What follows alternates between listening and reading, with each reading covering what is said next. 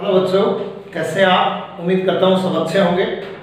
घातांक नियम का जो टॉपिक था अपना पिछले वीडियो में मैंने डाला है शायद उसमें गलती हो गई, उसके लिए मैं माफ़ी चाहता हूँ, मुझे याद नहीं गलती क्या हो गई। मैं मैंने उसको दोबारा से देखा है। घातांक नियम फिर से मैंने लिख रखे हैं। घातांक के जो नियम लिखे हुए थे उनकी हिंदी और अंग्रेज़ी दोनों साथ बोल रहा हूँ, यानी गणितीय रूप और हिंदी में। यदि आधार समान हो तो घातांक, गुणा में घातांक जुड़ जाती है। यहाँ आधार एक्स है, यहाँ भी एक्स है। आधार दोनों का एक्स हो गया। घातांक यहाँ m है और यहाँ n है। बीच में गुणा का चिन्ह है, दोनों घातें जुड़ गई। इसका उदाहरण ले चुका हूँ काफ़ी उदाहरण आ चुके हैं। दूसरा उदाहरण, दूसरा इसका नियम था, यदि आधार समान हो भाग में भाग का निशान हो या भाग का चिन्ह हो तो भाग में घातांक घट जाती है। यानी बड़ी घात में से छोटी घात घटा देंगे। तीसरा नियम था, यदि घात के ऊपर घात हो, जैसे इसका उदाहरण, दो की घात तीन और की घात चार, ऐसे बढ़ेंगे तो दो की घात तीन गुणा चार हो जाएगी। इसका उदाहरण भी आ चुका है। यदि किसी भी आधार पर शून्य घात हो ज़ीरो घात हो उसका मान एक होता है। यदि हर में कोई घात धनात्मक है उसको यदि हम अंश में लाना चाहते हैं तो वो घात ऋणात्मक हो जाती है। इसका विपरीत यदि अंश में ऋणात्मक घात है और उसको धनात्मक बनाना चाहते हैं तो वो घात हर में आकर के धनात्मक हो जाएगी। ये तो अपना पुनरावृत्ति वाला जो था वो मैंने करवा दिया। अब मैं इस, इसी में कक्षा सात के लिए प्रश्नावली नंबर पाँच पॉइंट एक ले रहा हूँ। और पाँच पॉइंट एक में क्वेश्चन नंबर लगभग चार तक मैं करवा चुका हूँ। क्वेश्चन नंबर पाँच में लिखा हुआ है, सरल कीजिए।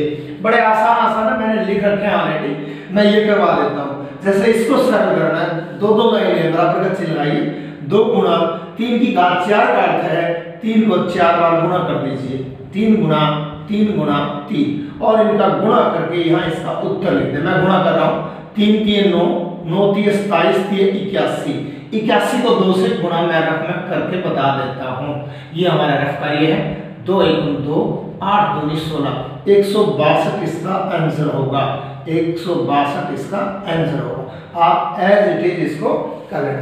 क्वेश्चन नेक्स्ट पे इसका दूसरा पार्ट इसका जो दूसरा पार्ट है, इसका भी हमें मान ज्ञात करना है या सरल करना है। इसका सात की घात तीन का अर्थ ये हो गया, सात की घात तीन का अर्थ ये हो गया, सात को तीन बार गुणा करते हैं सात गुणा सात गुणा सात। तीन बार गुणा करते और आगे पाँच है उसको भी लिखते हैं यदि आपको सात को तीन बार गुणा करना है, पहले इस सात को इस सात से गुणा कीजिए। सात को सात से गुणा किया, उनचास आया।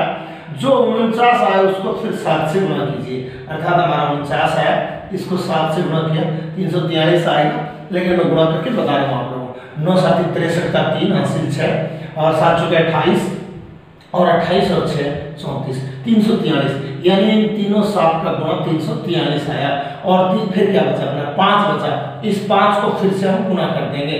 पाँच से पंद्रह का पाँच हासिल एक हो गए और पाँच सौ के बीस बीस और एक इक्कीस, हासिल दो आ गए, और तीन पंद्रह पंद्रह, दो सत्रह। अर्थात सत्रह सौ पंद्रह हमारा आंसर होगा। तो इस प्रकार बड़े आसान आसान है। अगले में इसका जो नेक्स्ट पार्ट है, वो ले लेता हूँ मैं। और ये नेक्स्ट पार्ट ये है। तीसरा जो पार्ट है, पाँच को तीन बार गुना कर देंगे। यही कर रहा हूँ, पाँच गुणा पाँच गुणा पाँच। और दो को तीन बार गुना कर देंगे। दो गुणा दो गुणा दो। और पाँच को तीन बार गुना करेंगे। मैं गुणा करके भी बता दूँगा, पाँच को पाँच से गुना किया, पच्चीस। पच्चीस को पाँच से गुणा किया। यदि पच्चीस का पाड़ा आता है पच्चीस पाँचों एक सौ पच्चीस होता है, एक सौ पच्चीस को दो से गुणा किया, एक सौ पच्चीस को और दो से गुणा किया। निश्चित है दो सौ पचास आएँगे। दो सौ पचास आया यहाँ, दो सौ पचास को भी दो से गुणा किया। दो सौ पचास का दुगुना हो गया भाई पाँच सौ और इसका दोगुना हो गया 500 और 500 जो आया, उसको किससे गुणा किया? दो से गुणा किया। और 500 को दो से गुणा किया, एक हज़ार हमारा इसका आंसर उत्तर होगा। इसी प्रकार ये बड़ा मोस्ट है। दस की घात चार गुणा ज़ीरो, आप लिख सकते हो। यदि आप विस्तार लिखो इसको तो आप लिख सकते हो ज़ीरो गुणा दस गुणा दस गुणा दस गुणा और दस। दस की घात चार काटते दस चार बार गुणा। लेकिन ध्यान रखें, इतना करने की आवश्यकता नहीं है। किसी भी संख्या को यदि हम शून्य से गुणा करेंगे तो उस संख्या का मान, उस संख्या की वैल्यू शून्य ही आएगी। लिख देंगे ज़ीरो इसका आंसर क्या होगा? ज़ीरो होगा। या लिख सकते हो, दस गुणा दस गुणा दस गुणा दस। और गुणा ज़ीरो करेंगे तो उसका परिणाम भी क्या आएगा? शून्य ही आएगा। ये क्वेश्चन नंबर आपका पाँच हुआ। अब आइए क्वेश्चन नंबर छह ले रहा हूँ मैं। क्वेश्चन छह आसान आसान है, लेकिन बड़े अच्छे अच्छे सवाल हैं। और क्वेश्चन नंबर छह में आपको इसका मान याद कीजिए। आसान आसान छोटे छोटे, क्योंकि क्लास का आपका लेवल भी छोटा सा है। तो क्वेश्चन नंबर छह, और क्वेश्चन नंबर छह में लिखा है, मान ज्ञात कीजिए। मान ज्ञात करो। और इसके भी पाँच छह पार्ट है, मैं दो तीन ले रहा हूँ, ज़्यादा तीन पार्ट है सॉरी मैं ले रहा हूँ माइन पहला पार्ट है माइनस एक की घात तीन, ये फ़र्स्ट पार्ट है। इसका मान यही याद कर लेता हूँ। घात तीन का अर्थ है। कोई भी आधार उतनी बारी गुना है, जितनी बारी घात है। तो माइनस एक कितनी बारी गुना है? तीन बार गुना है। या गुणा का चिन्ह लगाओ तो ठीक मैं कोष्टक लगा रहा हूँ और बीच में गुणा लगा रहा हूँ। क्योंकि कोष्टक मैंने इसलिए लगाए क्योंकि हमारा आधार ऋणात्मक है तो इसलिए कोष्टक लगाना है। माइनस एक माइनस एक और माइनस एक। ये लिख दिया सबके बीच में गुणा का चिन्ह है। अब आपको बताया था मैंने चिन्हों का गुणा, माइनस को माइनस से गुणा करेंगे, प्लस यहाँ देखिए माइनस को माइनस से गुणा किया, प्लस का चिन्ह आया आगे प्लस का चिन्ह। उसके बाद यहाँ जो मिला, उसको किससे गुणा करेंगे? माइनस से गुणा करेंगे। प्लस को किससे गुणा किया? माइनस से। तो निश्चित क्या आएगा? माइनस आएगा। अर्थात हमारा चिन्हों का जो गुण आया, वो क्या आया? माइनस आया। और अब संख्याओं का गुणा कर दो। अब भूल जाओगे माइनस एक है ये। एक मान के चलो। एक को एक से गुणा किया, एक और एक को एक से गुणा किया, एक। तो माइनस एक आया हमारा परिणाम हमारा क्या आया? माइनस एक। अर्थात माइनस एक की घात तीन क्या आया? माइनस एक आया। अब यहाँ मैं एक नियम बता देता हूँ, आप याद रखिए। यदि कोई आधार माइनस का है, कोई भी आधार वैल्यू माइनस दो और की घात तीन, इसका जो परिणाम आएगा वो माइनस में ही आएगा। कितना आएगा? वो अलग विषय है। कितना आएगा वो? तो ये आएगा दो गुना दो गुना दो। आएगा माइनस क्योंकि हमारी यहाँ घात विषम है, मैं पहले भी शायद बता चुका हूँ, यदि घात विषम है, यदि घात विषम है और हमारा आधार ऋणात्मक है तो हमारा परिणाम किसमें आएगा? माइनस के चिन्ह में आएगा, ये याद रखिए। यदि इसी प्रकार में उदाहरण ले, माइनस दो की घात चार क्योंकि हमारी घातांक है, वो प्लस के कोई चिन्ह नहीं है, इसका अर्थ प्लस की है। तो हमारा परिणाम चाहे जो भी आए, लेकिन वो प्लस का ही आएगा। जैसे माइनस दो गुणा माइनस दो गुणा माइनस दो, अर्थात चिन्ह को चिन्ह से करते जाएँगे गुणा, लेकिन सिर्फ़ याद रखना है, घात क्या है? तीन तीन कैसी है, विषम है। हमारा परिणाम किसमें आएगा? माइनस में आएगा। आएगा कितना? दो को तीन बार गुणा कर लो। तो दो को तीन बार गुणा किया, निश्चित आठ आएँगे। हमारा परिणाम आएगा और वो भी किस चिन्ह का होगा? माइनस आठ होगा। यहाँ परिणाम हमारा कितना आएगा? वो अलग विषय है, क्योंकि हमारा आधार यहाँ प्लस का है और घातांक भी प्लस तो हमारा परिणाम जो आएगा, वो प्लस नहीं आएगा, इसलिए प्लस आके लिखते नहीं है। दो को चार बार गुणा कहीं करके देख लें आप। दो गुणा दो गुणा दो। तो दो दिन चार गुना आठ दिन सोलह। हमारा परिणाम केवल सोलह लिख देंगे और प्लस सोलह लिखने का कोई औचित्य नहीं है। तो याद रखिए, यदि आधार माइनस का है और घात है तो परिणाम माइनस में आएगा। यदि, क्योंकि चार क्या है? सम है। यदि घातांक सम है सॉरी और आधार माइनस का है, आधार किसका है? माइनस का है। तो हमारा परिणाम किसमें आएगा? प्लस में आएगा। ये दोनों बातें आप नोट रख लें। और इसी नियम पे आधारित ये था। एक को एक से गुणा किया, फिर एक से किया। एक आया। क्योंकि हमारी घातांक क्या थी? विषम थी। इसलिए, और हमारा आधार क्या था? माइनस का था। इसलिए हमारा परिणाम किसमें आएगा? माइनस आएगा और कितना आया वो आपके सामने है। इसके बाद इसका जो अगला पार्ट है, माइनस पाँच की घात चार। इसका जो नेक्स्ट पार्ट है, माइनस पाँच की घात चार। ये है। और दूसरा जो पार्ट है, वो लिख रहा हूँ मैं। माइनस पाँच की घात चार का मान ज्ञात कीजिए। तो आपको निश्चित है, क्योंकि हमारी आधा घातांक है वो सम है। तो मैंने अभी बताया घातांक समय तो हमारा परिणाम प्लस में आएगा। आप चाहो तो इसको यूँ लिख सकते हो माइनस पाँच गुणा माइनस पाँच और गुणा गुणा लिखना गुणा माइनस पाँच और यहाँ लिखो गुणा माइनस पाँच, ये लिख दिया। आपको कुछ नहीं सोचना हमारा उत्तर प्लस में आएगा। अब आएगा कितना गुणा करना पड़ेगा। भूल जाओ माइनस को पाँच को पाँच से गुणा पच्चीस। पच्चीस को पाँच से गुणा किया, ये है, ये कर ले आप, मन में कर ले, या रफ का ये कर ले। पाँच को पाँच से किया पच्चीस पच्चीस को पाँच से किया एक सौ पच्चीस एक सौ पच्चीस आ गया यहाँ तक। एक सौ पच्चीस को पाँच से किया, निश्चित तौर पर गुणा करोगे तो छह सौ पच्चीस आएगा। तो आपका परिणाम क्या आया? छह सौ पच्चीस। और चिन्ह क्या होगा? प्लस का होगा। मोस्ट इंपॉर्टेंट बात है। हर प्रकार के आगे जाकर के कोई कंपटीशन देंगे तो इस प्रकार के ट्रिक आपको याद रखने होंगे। घात यदि सम है और आधार माइनस का है तो अपना परिणाम प्लस में आएगा। घात यदि विषम है, हमारा आधार माइनस का है तो परिणाम माइनस में ही आएगा आएगा। इसके बाद आ जाओ, अगला पार्ट इसका। और तीसरा जो पार्ट है, वो ये है। पार्ट नंबर तीन है, वो ये है, माइनस चार की घात दो और गुणा माइनस दो की घात तीन का मान ज्ञात निश्चित तौर पे आपको पता है कि हमारा आधार माइनस का है, घातांक सम है, हमारा परिणाम प्लस में आएगा लेकिन इतना करने की आवश्यकता तो ज़रूर पड़ेगी। माइनस चार गुणा माइनस चार है और क्योंकि हमारा आधार माइनस का है और हमारी घातांक है, वो विषम है, इसलिए हमारा परिणाम यहाँ माइनस में आएगा। मैंने लिख दिया इसका विस्तार करके। घातांक का अनुसार मैंने लिख दिया। अब निश्चित इन दोनों का गुणा प्लस में आएगा। और वो कितना आएगा? सोलह आएगा। गुणा। ये यहाँ घात कितनी थी? विषम थी।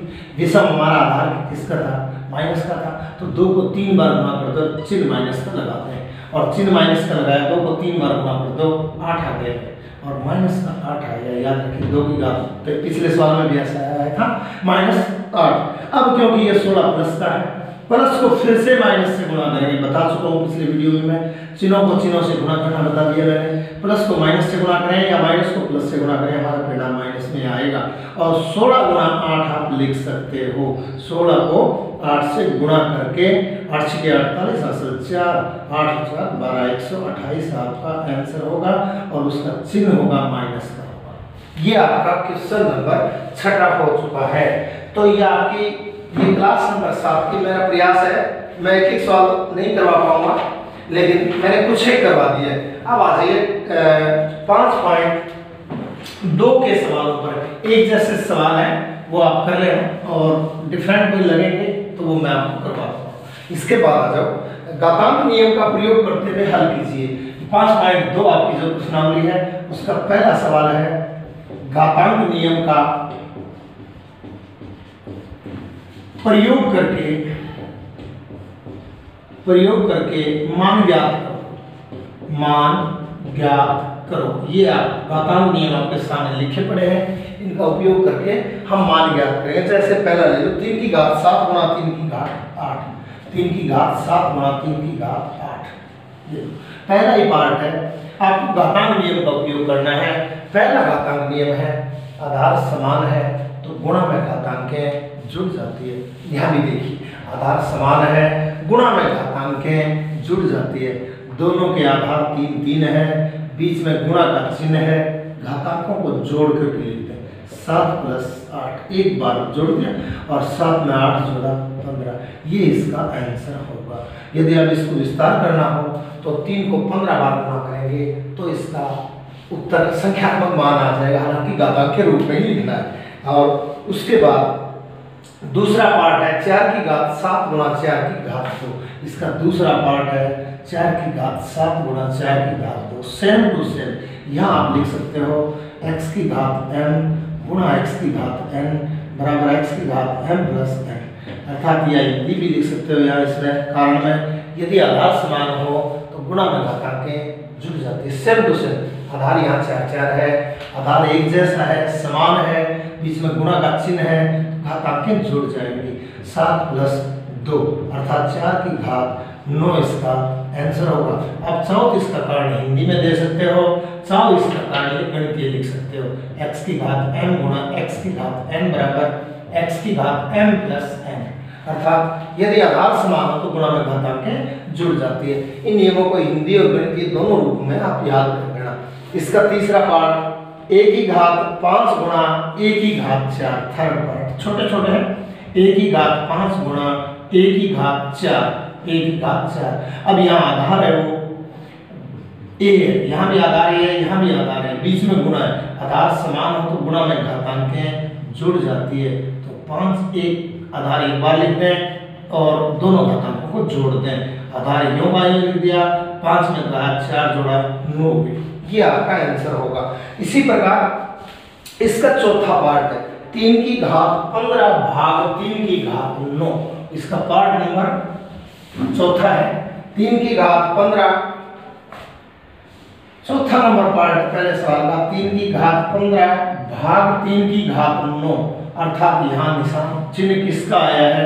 चिन्ह भाग का आया है। इसलिए भाग वाला नियम आपको लगाना होगा यहाँ क्योंकि हमारा आधार तीन है यह भी आधार तीन है, आधार समान हो तो भाग में घातांकें घट जाती है। तीन की घात पंद्रह माइनस नौ कर देंगे, क्योंकि घात में से घात घटा देंगे। और पंद्रह में से नौ गया छः बच गया। अगर आप इसको विस्तार से लिखोगे तो तीन को छः बार गुना करके लिख देना। कोष्टक में कारण लिख देना, यदि आधार समान हो तो भाग में घातांकें घट जाती है। और मैं इसका गणितीय रूप आपके सामने लिख रहा हूँ। सेम टू सेम मैंने लिख दिया। ये आपका क्वेश्चन नंबर पहले का, चौथा पार्ट हो गया। पांचवा पार्ट सेम टू सेम पांचवा पार्ट यही है। इसका पांचवा पार्ट है टी की घात चार भाग सात भाग टी की घात सात भाग टी की घात चार। अर्थात आधार समान है तो भाग में घातांकें घट जाती है। तो घटा करके लिख देंगे सात में से चार गया तीन। अर्थात आपका आंसर होगा टी की घात तीन। सेम टू सेम इसी प्रकार। इसका जो छठा पार्ट है, वो थोड़ा सा हट करके दोनों नियमों का मिश्रण कर दिया गया है। दोनों नियमों को मिला करके कर दिया गया। मैं लिख रहा हूँ पार्ट नंबर, इसका छठा पार्ट है। और छठा पार्ट है छ की घात चार गुणा छ की घात दो कोष्टक में बंद कर दिया और भाग का चिन्ह लगा दिया और छ की घात पाँच लगा दिया। बहुत ही बढ़िया सा सवाल है तो यहाँ दो नियमों का उपयोग करेंगे, क्योंकि हम देखते हैं, आधार यहाँ भी यहाँ भी और यहाँ भी। ही है, एक जैसे आधार है। लेकिन यहाँ गुणा का चिन्ह है, उसके बाद इनको कोष्टक में बंद करके आगे भाग लगा दिया गया इसलिए पहले कोष्टक वाले को हल करेंगे। कोष्टक में दोनों के बीच में गुणा का चिन्ह है। इसलिए आधार समान हो तो गुणा में घातांकें जुड़ जाती है, जोड़ देंगे, चार प्लस दो कर देंगे और आगे सेम टू सेम लिख देंगे कोष्टक देंगे और छः की घात पाँच। अगला कदम अपना यह होगा, चार में दो जोड़ दें छः हो जाएगी और भाग छः की घात पाँच हो जाएगी। हमने पहले यहाँ किस नियम का उपयोग किया? X की घात m गुणा x की घात n का उपयोग किया और हमने किया था x की घात m प्लस n ये किया था। अब यहाँ किस नियम का उपयोग किया था? यहाँ जिस नियम का उपयोग किया था, उसका कारण लिख रहा हूँ की घात m भाग x की घात n तो लिख दिया x की घात m माइनस n दोनों नियमों का गुणा वाले और भाग वाले नियम का उपयोग करके मैंने यह काम कर दिया। यहाँ भाग वाले नियम का उपयोग किया नहीं सॉरी मैं कर रहा हूँ। तो छः की घात छः एक बार लिखते हैं और उसमें से पाँच घटाते हैं छः में से पाँच गया एक छः की घात एक का अर्थ होता है छः एक ही बार गुना अर्थात इसका परिणाम क्या आएगा? छः आएगा। इसका आंसर क्या होगा? छः होगा। इसका चौथा पार्ट हो चुका है। इसके बाद आसान है सारे क्वेश्चन नंबर इसका चौथा नहीं, छठा पार्ट था सॉरी अब आइए सातवां पार्ट यही लिख रहा हूँ, छोटा सा सवाल है। दो की घात छः, की घात की दो की घात छः, की घात तीन। डायरेक्ट लिख दें। घात के ऊपर घात है, घात के ऊपर घात है घात की गुणा हो जाएँगे। तो दो की घात छः गुणा तीन। लिख सकते हो। दो की तीन अठारह दो की घात अठारह इसका परिणाम होगा। अब आइए आसान है सारे सेम टू सेम है। अब आ जाओ क्वेश्चन नंबर दो पर। तो काफ़ी पढ़े हैं उदाहरण तो खूब पढ़े हैं लेकिन हम्म, कर लेना कोई दिक्कत नहीं आएगी। अब आओ क्वेश्चन नंबर दो पर सरल कीजिए। और मैं दो दो एक सरल कर देता हूँ ज़्यादा नहीं। क्वेश्चन नंबर दो प्रश्नावली नंबर पाँच दशमलव दो। और क्वेश्चन नंबर दो है इसका। क्वेश्चन नंबर दो का हेडिंग है, सरल कीजिए। सरल करो अर्थात इसका परिणाम आपको याद करना है। इसका पहला पार्ट और वो पहला पार्ट ये है मंथला कोष्टक शुरू किया गया है और लिखा गया है, तीन की घात दो, फिर छोटे कोष्टक घात तीन और गुणा तीन की घात चार मंझला कोष्टक बंद कर दिया गया है। उसके बाद लिखा गया है, भाग तीन की घात सात। तीन की घात सात। यह सारे नियमों का मिश्रण आपके सामने आ गया है। देखिए, घात के आधार है, घात के ऊपर घात लगी हुई है, घात के ऊपर घात लगी गुणा करते हैं। अर्थात, पहले मंझले कोष्टक कॉल कर ले। मंझले कोष्टक के अंदर छोटा कोष्टक है तो ये नियम लगा दें। छोटा कोष्टक है तो तीन की घात दो गुणा तीन। मंजले कोष्टक का एज इट अगर लिखना चाहो तो लिख दें, और तीन की घात चार। मंझला अगर आप बंद करना चाहो तो कर दें। और भाग तीन की घात सात। क्या नियम लगा दिया मैंने? नियम नंबर तीन लगा दिया। यदि घात के ऊपर घात हो तो उन घातों को आपस में गुणा कर देते हैं। गुणा कर दें, तीन, दो छः तो तीन की घात छः कोष्टक हटा दें, गुणा तीन की घात चार। छोटा कोष्टक लगा दें हम बदले के स्थान पर। और तो फ़र्क नहीं पड़ता अगर ये रखते हैं तो तीन की घात सात। यहाँ फिर से एक नया नियम आ गया, आधार समान तो गुणा में घातांकें जुड़ जाती है, बराबर का लगाते हैं बराबर का भी लगाते बराबर। तो यहाँ आधार समान है तो गुणा में घातांकों को जोड़ दें। छह प्लस चार जोड़ दिया। उसके बाद भाग का चिन्ह तीन की घात सात। छह में चार जोड़ दें, दस। तीन की घात दस और भाग लगा दें और तीन की घात सात। अब यहाँ फिर से भाग भाग वाला नियम आ जाएगा। यदि आधार समान तो भाग में घातांकें घट जाते मैं यही लिख रहा हूँ इसके सामने। तीन की घात दस, क्योंकि तीनों, दोनों के आधार है, वो तीन तीन है। घातांकें घटा दो। तो तीन की घात दस माइनस सात, और दस में से सात गया, तीन की घात तीन। इसने मान पूछा है, सरल करो या मान ज्ञात करो, जो भी अगर आपसे गुणा होने वाला हो तो करते हैं, तीन गुना तीन गुना तीन। और तीन को तीन बार गुणा किया, तीन तीन नौ, और नौ तीन सत्ताईस, इसका परिणाम आएगा। आसान छोटे छोटे क्वेश्चन मैं क्वेश्चन और ले रहा हूँ। सोलह की घात चार भाग चार की घात चार। इसी का दूसरा पार्ट ले रहा हूँ। सोलह की घात चार भाग चार की घात चार।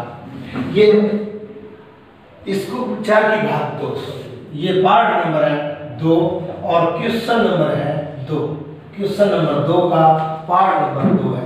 आप सोलह की घात चार को चाहो तो गुणा में लिख दे। दो तरीके और चाहो तो इसको घात के रूप में आप लिख सकते हो। अगर घात के रूप में लिखूं तो ये लिख सकता हूँ, चार की घात दो। चार की घात दो, सोलह होता है। और फिर लिख दूँगा ये ऊपर वाले सेम क्वेश्चन और भाग चार की घात दो। ये दोबारा बताऊँगा नियम से हल करने का बेहतर दोबारा देखें, सोलह को मैंने घात के रूप में ऐसे लिख दिया। चार में इसलिए लिखा मैंने क्योंकि ऑलरेडी हमारी बात एक आधार चार और था, इसलिए अगर सोलह के आवाज़ गुणनखंड करूँ तो ये होंगे ये होंगे, और ये होंगे ये होंगे, यानी दो गुना दो गुणा, दो गुना दो। मैंने इन दो को इकट्ठा करके चार कर दिया, इन दो को इकट्ठा करके भी चार कर दिया, और चार की घात दो लिख दिया। ये मैंने इसको देख करके किया और नहीं तो मैं लिख सकता था दो की घात चार, क्योंकि आधार आगे दो नहीं, इसलिए मैंने सुई अनुसार मैंने लिख दिया। अब यहाँ क्या है, आधार एक घात के ऊपर घात है तो घातों को गुणा कर दो, चार दो आठ, और भाग चार की घात दो। अब ये भाग का नियम लगाते हैं, आधार समान है तो भाग में घातांकें घट जाती है। चार की घात आठ माइनस दो, और चार की घात आठ में से और दो घात घटा देंगे तो चार की घात छह बच जाएगा। अर्थात चार को छह बार गुणा करके जो आए वो परिणाम लिखना है। एक बार, दो बार, तीन बार, चार बार, पाँच बार और छह बार। ये आपका एक तरीका था ये। दूसरे तरीके में, यदि आप चाहो तो ये कर सकते हो। मैं ये बैठा रहा हूँ। घातांक नियम का उपयोग किए बिना भी आप इसको सरल कर सकते हो, लेकिन घातांक नियम का उपयोग करना है। और फिर भी बता रहा हूँ। सोलह आप लिखोगे, सोलह गुना सोलह गुना सोलह गुना सोलह। क्योंकि चार बार लिखना है। भाग का अर्थ होता है बटे की लाइन। और चार को लिखोगे, चार गुना चार, ये लिख करके भी आप इसको हल कर सकते हो। चार को काट दो, चार चौके सोलह, चार को काट दो, चार से, खत्म। अब आपका बच गया सोलह गुना सोलह गुना सोलह। आपका बच गया सोलह गुना सोलह गुना सोलह। यदि आपको परिणाम पूछे तो ये आपका परिणाम आ जाएगा। ये आप इसको लिखोगे, सोलह की घात तीन, चाहो तो सोलह को तीन बार गुना कर देंगे और आपका परिणाम प्राप्त हो जाएगा। लेकिन कहना घातांक नियम से एक तरीका ये भी है। इसका अगला पार्ट क्वेश्चन नंबर का जो अगला पार्ट है वो ये है। तीसरा थर्ड पार्ट पाँच की घात सात बटे बटे का अर्थ मैं बता चुका हूँ भाग होता है। पाँच की घात चार गुणा पाँच की घात तीन। अब देखिए, यहाँ दोनों नियम है। क्या सब के आधार समान है? यहाँ भी आधार पाँच है, यहाँ भी आधार पाँच है, यहाँ भी आधार पाँच है। तो आधार पाँच समान है। तो यहाँ दो नियम है, गुणा भी आया है और भाग भी आई भाग की लाइन है। तो पहले ऊपर वाले अंश को सेम टू सेम लिख दें हर में, क्योंकि गुणा का चिन्ह आधार समान है घातों को जोड़ दें पाँच चार प्लस तीन चार प्लस तीन ये जोड़ दिया मैंने। मैंने हर में क्या लगा दिया? आधार समान हो तो गुणा में घातांकें जुड़ जाती है। मैंने जोड़ दिया। अब इसी में लिख रहा हूँ, आगे लिख रहा हूँ। पाँच की घात सात और बटे चार में तीन जोड़ दिया, पाँच की घात सात। अब आधार समान है बाघ का चिन्ह है तो घातांक घट जाती है। एक बार आधार को लिख दो ऊपर वाली घात में, नीचे वाली घात घटाते हैं सात में से सात घटाया, ज़ीरो बच गया। पाँच की घात ज़ीरो। किसी आधार की घात यदि शून्य है या ज़ीरो है, उसका परिणाम एक होगा। बहुत ही अच्छा सवाल है। यह आपका पार्ट नंबर थर्ड प्राप्त हो गया। उसके बाद पार्ट नंबर चौथा पार्ट और वो भी बड़ा अच्छा सा पार्ट है। और चौथे पार्ट में ये लिखा हुआ है पार्ट नंबर चौथा। और ये लिखा है चार की घात ज़ीरो, गुणा पाँच की घात ज़ीरो, गुणा छः की घात ज़ीरो। अभी बता चुका अभी हमने उपयोग में लिया था इसलिए को। यदि किसी आधार की घात शून्य है, उसका मान एक होता है। एक यहाँ पे पाँच की घात शून्य है, इसका मान भी एक ही होता है। यहाँ छः की घात शून्य है, इसका मान भी एक ही होता है। यदि आप कोष्टक में कारण देना चाहते हो, बहुत ही अच्छा होगा। किसी हिंदी में लिखना चाहते हो तो हिंदी में लिख हैं गणितीय रूप में लिखना चाहते हो तो गणितीय रूप में लिख क्योंकि गणितीय रूप में लिखोगे, आपका समय बचेगा तो आपने गणितीय रूप में लिख दिया एक्स की घात ज़ीरो बराबर एक। नहीं तो हिंदी में क्या लिखोगे? किसी आधार की घात यदि शून्य है तो उसका मान एक होता है। तीनों को पूरा कर दे और तीनों को एक एक कम एक और एक। आपका आंसर क्या होगा? एक होगा। अच्छा सवाल है। अन्यथा बच्चे क्या कर लेते हैं? आंसर को गुणा करके और इसका परिणाम चार, पाँच बीस बीस छः एक सौ बीस इसका आंसर दिखा देते हैं, जो कि गलत है। इसके बाद आइए लगभग ये हो जाएँगे। इसके बाद तीसरे सवाल के एक दो पार्ट में करवा देता हूँ क्वेश्चन नंबर तीन के वैसे तो तीन ही पार्ट है, मैं एक दो सवाल करवा देता हूँ। ये क्वेश्चन नंबर आपका तीन है। इसका पार्ट नंबर फ़र्स्ट ले रहा हूँ। दो की घात तीन गुणा दो की घात सात। सॉरी सॉरी सात की घात दो। सात की घात दो और गुणा तेरह की घात पाँच। और बटे में और छप्पन गुणा तेरह की घात सात। छप्पन गुणा तेरह घात सात। अब ये देखिए, इसमें आपको सोचना है, यहाँ आधार तेरह है, यहाँ भी तेरह है। इसको नहीं छेदना आपको। यहाँ बाघ का नियम लगाते हैं। यहाँ आधार दो है, यहाँ आधार सात है। ये छप्पन एक संख्या प्राप्त हो चुकी है। इसको यदि आप घातांक में लिखो तो ठीक, न लिखो तो कोई बात नहीं। मैं एक बार ट्राई कर रहा हूँ। छप्पन के घातांक के रूप में लिखने के लिए मैं बता चुका हूँ। अभाज्य गुणनखंड करेंगे। और दो से किया। और दो से भाग किया, मैं फिर से भाग करके बता रहा हूँ, छप्पन में दो का भाग लगाना है, क्योंकि इकाई अंक छः है और इकाई अगर ज़ीरो, दो, चार छः और आठ हो तो उस संख्या में दो का पूरा पूरा भाग जाता है, दो का भाग जाएगा। अट्ठाईस में छप्पन, मुझे लग रहा है अट्ठाईस आएगा, ये दिखा हो तो मैं कर देता हूँ। चार दो आठ और आठ तो बीस सोलह, यानी हमारा क्या आया भागफल? अट्ठाईस आया, फिर दो से फिर कर देता हूँ ये मुझे लग रहा है चौदह आएगा और फिर दो से फिर कर देता हूँ और सात आएगा और सात से फिर कर देते एक आएगा अर्थात हमारा दो गुना और दो गुना और दो गुना सात आया। लेकिन हमारा दो कितनी बार गुना आया? दो हमारा तीन बार गुना आया। सात बार एक बार आया। तो इसको आप घात के रूप में रफ में करके घात के रूप में लिख सकते हो। मैं आपके सामने लिख रहा हूँ, दो की घात तीन गुना सात की घात दो गुना तेरह की घात पाँच। बटे, इसको आप क्या लिखोगे? दो गुना दो गुना दो गुना सात। तो दो गुना दो गुना दो गुना सात। मैंने कहा, इसको नहीं छेड़ना क्योंकि इसका साथ ही ऊपर बैठा है, और गुना तेरह की घात सात लिख दिया।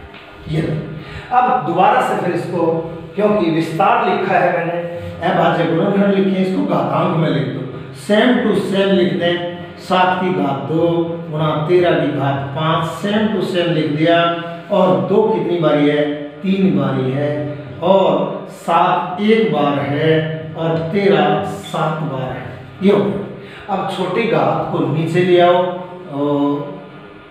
छोटी घात जहाँ ये छोटी घात है, ये बड़ी घात है, बड़ी घात के पास ले आओ।